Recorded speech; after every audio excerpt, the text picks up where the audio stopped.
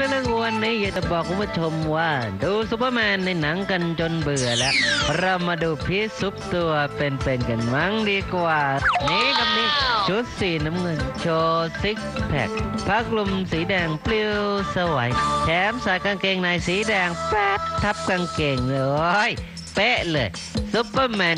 ชัดๆเออ แล้วความสามารถของพี่ซุปคนนี้เนี่ยบอกไปแล้วเนี่ยต้องอ้าปากค้างอย่างแน่นอนล่ะครับเพราะว่าพี่เขาบินไม่ได้หรอกนะครับคุณผู้ชม แต่ถ้าให้โบกรถเป่านกหวีดจัดระเบียบรถยนต์หรือคอยต้อนรับลูกค้าเนี่ยโอ้ย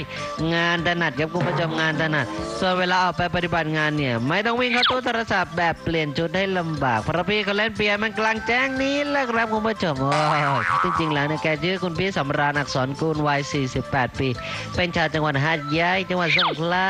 มีอาชีพเป็นพนักงานรักษาความปลอดภัยนี้เองแหละครับคุณผู้ชมแน่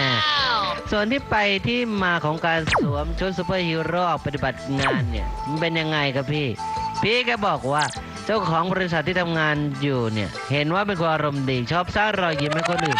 เลยไปหาไอ้ชุดซูเปอร์แมนเต็มยศเนี่ยมาให้ใส่ทำงานเกือบปีแล้ววะเอาเป็นว่าบินไม่ได้ไม่เป็นไรแต่ถ้าสร้างรอยยิ้มให้คนอื่นได้เนี่ย ยอดเยี่ยมแล้วนะปรบมือให้สุดๆแล้วครับ